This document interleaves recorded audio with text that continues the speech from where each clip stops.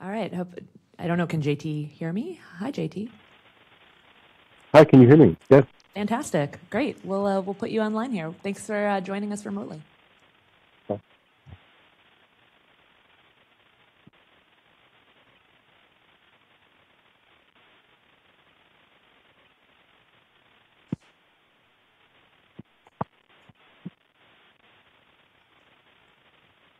And uh, Okay.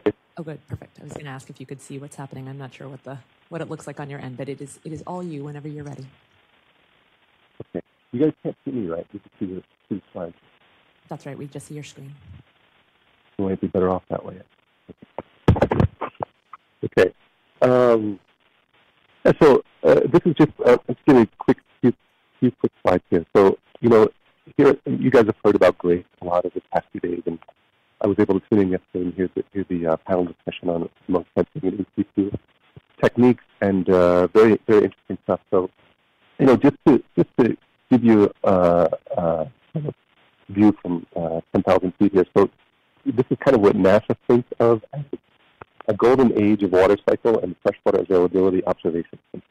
Because we now have a mission that covers almost every aspect of the terrestrial water cycle.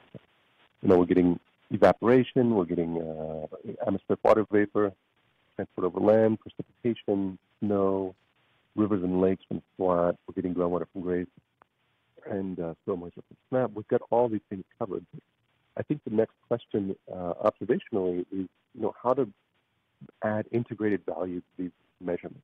We're observing all these things, but, you know, how good of a job are we actually doing at representing every spatial and temporal space?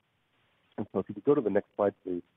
Um, you know, what, what we, one thing we do at NASA, you know, is every 10 years or so we have this uh, decadal survey, and we just had this, in, in which we'll uh, get an opinion by the community of what's happening in the field and what the major questions are in, in hydrology, for instance. And then, um, you know, we'll write these RFIs on what are the next things that we need to be observing as a community.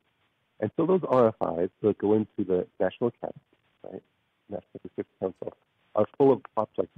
So it has a plot of all of the processes in hydrology. You know, usually these are kind of drawn by hand and done kind of subjectively.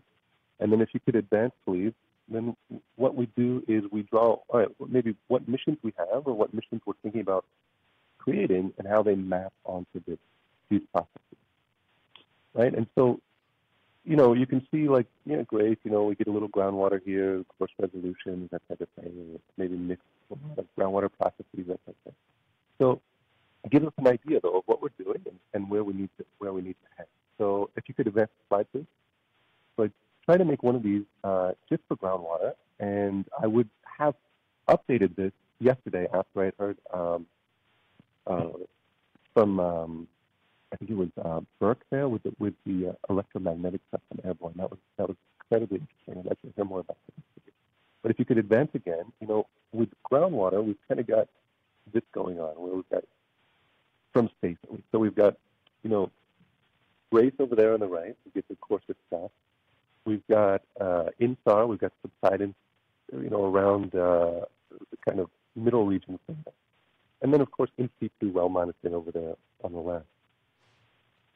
So with those three, we almost have some coverage of the entire uh, suite of groundwater processes and, and scales. At least we're getting there. And there's definitely a gap in the middle there, probably where, where electromagnetic or some other technique could help fill in. But the point with this is that, you know, the framework for, for which to place these observations into probably has to be modeling, right? And when we have uh, the ability to model across scales, and when we have the ability to model with good uncertainties, then we're better able to place observations into context that has meaning. So a lot of times I think we're observing things at different resolutions or different different scales, and it's, it's hard to get context for them, especially with Grace, for instance. And you've got such a coarse overview of what's happening that it's really difficult sometimes to relate that to what's happening on the ground with actual well observations, with the common understanding of groundwater atmosphere. So could you go to the next slide, please? I'm almost done here. So one thing I wanted to talk about is kind of the possibility of you know, how do we understand the uncertainty of a system as opposed to the uncertainty of a measurement? So typically, right, at NASA, we're considered with the left side, right? Consider the uncertainty of a measurement, instrument error, forward propagation uncertainty for single variable. How do we reduce uncertainty? Or what are the sources of uncertainty?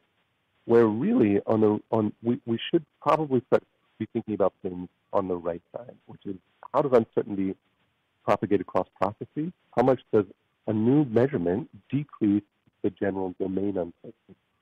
So, you know, you've got a modeling system, whether that's a, a land surface model or a groundwater model, and that model is parameterized somehow.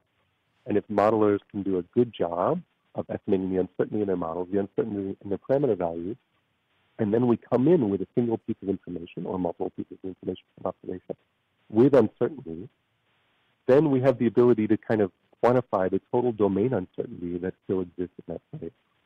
So that's why I'm kind of laying this out as a, as a goal for modeling, I think, is, is to say, okay, you know, through the combination of models and observations, contextualizing combining unique pieces of information, but doing so with proper uncertainty quantification, then we have the ability to understand how much uncertainty remains in a system, and therefore where the gaps in information are and where to target future observations. And of course, that's something we can about. So uh, next slide, please. This is my last. So this is just, you know, you know how this would work. You know, you've got some model uncertainty, you've got some observation uncertainty. You combine the two, and you know, you do a data assimilation or something similar, and hopefully you get some results that can include improved best estimate of whatever you're estimating, as well as a combined uncertainty that is reduced from having the two sources of information, where mo- maybe the model reveals something about the process and the observation reveals uh, something about uh, you know, biases or, or uh, parameters. Okay, so I'm going to stop right there. That's just kind of a quick overview of things uh, where, where we should head, and uh, I'll leave it at that.